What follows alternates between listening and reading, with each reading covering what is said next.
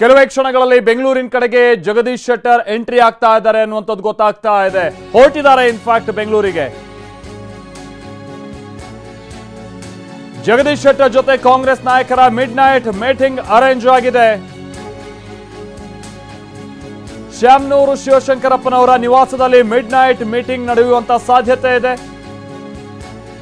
ನಾಳೆ ಬಹುತೇಕ ಜಗದೀಶ್ ಶೆಟ್ಟರ್ ಕೈ ಹಿಡಿಯುವ ಸಾಧ್ಯತೆ ನಿಚ್ಚಳವಾಗಿದೆ.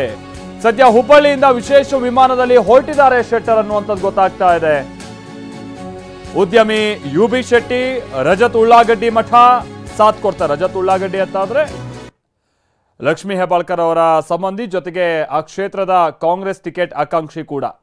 ರಜತ್ ಉಳ್ಳಾಗಡ್ಡಿ ಹಾಗೆ ಯು ಬಿ ಶೆಟ್ಟಿ ಸಾಥ್ ಕೊಟ್ಟಿದ್ದಾರೆ ಜಗದೀಶ್ ಶೆಟ್ಟರ್ಗೆ ಅನ್ನುವಂಥ ಸಂಗತಿ ತಿಳಿದು ಬರ್ತಾ ಇದೆ. ಮಾಜಿ ಸಿಎಂ ಜಗದೀಶ್ ಶೆಟ್ಟರ್ ಸದ್ಯ ಬೆಂಗಳೂರಿನ ಕಡೆ ಹೊರಟಿದ್ದಾರೆ. ಇನ್ನೇನು, ಕೆಲವೇ ನಿಮಿಷದಲ್ಲಿ ಅವರು ಬೆಂಗಳೂರಿಗೆ ಬರೋರಿದ್ದಾರೆ. ಅದಾದ ನಂತರದಲ್ಲಿ ಶ್ಯಾಮ್ನೂರು ಶಿವಶಂಕರಪ್ಪನವರ ಜೊತೆಗೆ ಇವತ್ತು ಮೀಟಿಂಗ್ ಇದೆ. ಅದಾದ ನಂತರದಲ್ಲಿ ನಾಳೆ ಸಿದ್ದರಾಮಯ್ಯ ಹಾಗೆ ಡಿ ಕೆ ಶಿವಕುಮಾರ್ ಅವರನ್ನೆಲ್ಲ ಭೇಟಿಯಾಗಿ ಕಾಂಗ್ರೆಸ್ ಸೇರ್ಪಡೆ ಆಗ್ತಾ ಇದ್ದಾರೆ ಎನ್ನುವಂಥ ಸಂಗತಿ ತಿಳಿದು ಬರ್ತಾ ಇದೆ. ಬಹಳ ಪ್ರಯತ್ನ. ಜಗದೀಶ್ ಶೆಟ್ಟರ್ ಅವರನ್ನ ಪಕ್ಷದಲ್ಲೇ ಉಳಿಸ್ಕೊಳ್ಬೇಕು ಅನ್ನುವಂಥ ನಿಟ್ಟಿನ ಬಹಳ ಪ್ರಯತ್ನ ನಡೀತಾ ಇದೆ. ಕೊನೆ ಹಂತದ ತನಕನೂ ಕೂಡ ಅವರಿಗೆ ಬರ್ತಾ ಇರುವಂಥ ಆಫರ್ ಅಂತ ಅಂದರೆ ನೀವು ಪಕ್ಷದಲ್ಲೇ ಇರಿ, ನಿಮಗೆ ಪಕ್ಷ ಬೆಂಬಲವಾಗಿ ನಿಲ್ಲುತ್ತೆ, ಆದರೆ ಟಿಕೆಟ್ ಮಾತ್ರ ನಿಮಗಿಲ್ಲ. ನೀವು ಹೇಳಿದವರಿಗೆ ಟಿಕೆಟ್ ಕೊಡ್ತೀನಿ ಅನ್ನುವಂತಾನೆ ಹೇಳ್ತಾ ಇದ್ರೆ ಬಟ್ ಜಗದೀಶ್ ಶೆಟ್ಟರ್ ಅವರ ಪ್ರಕಾರವಾಗಿ ಇದು ಭಾಳ ಕ್ಲಿಯರ್ ಇದೆ.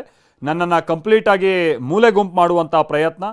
ಬೇರೆಯವ್ರಿಗೆ ಟಿಕೆಟ್ ಕೊಡ್ತೀನಿ ಅಂತಾರೆ, ನೀವು ಹೇಳ್ದಂಥವ್ರಿಗೆ ಟಿಕೆಟ್ ಕೊಡ್ತೀನಿ ಅಂತಾರೆ, ನನಗೆ ಕೊಡ್ರಪ್ಪ ಅಂತ ಅಂದರೆ ಇವ್ರ ಹತ್ರ ಯಾವುದೇ ಉತ್ತರ ಇಲ್ಲ ಅನ್ನುವಂಥದ್ದು. ಇವ್ರೇನು ವಯಸ್ಸಿನ ಕಾರಣವನ್ನು ಕೊಡೋಕ್ಕಾಗುತ್ತಾ ಇಲ್ಲ? ನನಗಿನ್ನೂ ಅರವತ್ತೇಳು ವರ್ಷ.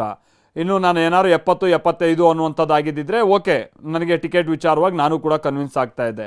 ಆದರೆ ನಾನು ಯಾವ್ದಾದ್ರು ಭ್ರಷ್ಟಾಚಾರದಲ್ಲಿ ತೊಡಗಿದ್ದುಂಟು, ಅಥವಾ ಏನಾದರೂ ಪಕ್ಷಕ್ಕೆ ಕಳಂಕ ತರುವಂಥ ಕೆಲಸ ಮಾಡಿದ್ದೀನಾ? ಏನೂ ಇಲ್ಲ. ಕಳೆದ ನಲವತ್ತು ವರ್ಷಗಳಿಂದ ಬಿ ಜೆ ಪಿ ಬಾವುಟ ಹಿಡಿಯೋಕೆ ಯಾರು ಇಲ್ಲದೆ ಇದ್ದಂಥ ಸಂದರ್ಭದಲ್ಲೂ ಕೂಡ ನಾನು ಬಿ ಜೆ ಪಿ ಕಟ್ಟು ಬೆಳೆಸುವಂಥ ಪ್ರಯತ್ನವನ್ನು ಆ ಸಂದರ್ಭದಿಂದ ಮಾಡಿದ್ದೀನಿ. ಈಗ ಪಕ್ಷ ಬೆಳೆದಂಥ ನಂತರದಲ್ಲಿ ನನ್ನನ್ನು ಮೂಲೆ ಗುಂಪು ಮಾಡುವಂಥ ಕೆಲಸ ಇದೆಯಲ್ಲ, ಇದನ್ನು ನಾನು ಒಪ್ಕೊಳ್ಳೋಕೆ ಸಾಧ್ಯ ಇಲ್ಲ ಅನ್ನುವಂಥದ್ದು ಜಗದೀಶ್ ಶೆಟ್ಟರ್ ಅವರು ಭಾಳ ಕ್ಲಿಯರ್ ಆಗಿ ಹೇಳ್ತಾ ಇರುವಂಥ ಸಂಗತಿ.